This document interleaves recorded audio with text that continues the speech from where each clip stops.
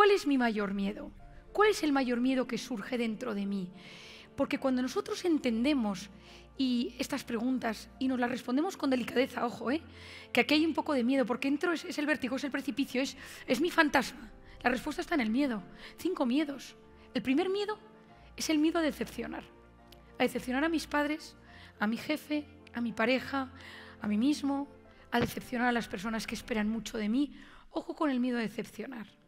Lo segundo es el miedo a perder el control, a tenerlo todo amarrado, a tener controlado dónde trabajo, mi estatus profesional, em, lo que gano, mis hijos, cómo son. Es decir, ese miedo a perder el control. Y por eso me convierto en una persona posesiva, en una persona que estoy en modo alerta con todo. Lo tercero es el miedo a dejar de ser importante, importante para los demás, para mi pareja, para la gente que me rodea, para mis amigos, para mi familia. El cuarto es el miedo a no ser perfecto, a no tener las cosas perfectas, la casa perfecta, mi trabajo perfecto, la imagen perfecta, los hijos perfectos, las notas perfectas, ¿no? Tú muchas veces hoy en día con esas fotos en Instagram, a veces que se suben de los niños, de las familias, que tiene que ser perfecto. Yo tengo una foto en mi, mi despacho de la familia este verano en la playa, es una foto lo mejor que pudimos, ¿no? Hicimos 30, pues la mejor. Pero en esa mejor tengo un hijo en brazos y mi hijo está lleno de arena y cae su arena en toda mi pierna y se ve toda la arena.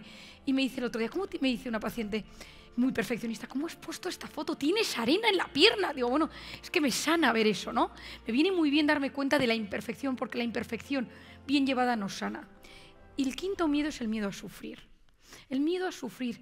Y tenemos que aceptar que toda vida lleva un componente de sufrimiento y que nos va a llegar en algún momento.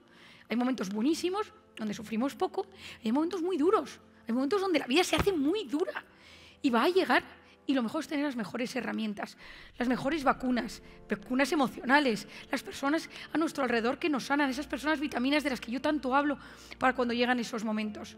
¿Qué pasa cuando yo vivo en ese estado de miedo?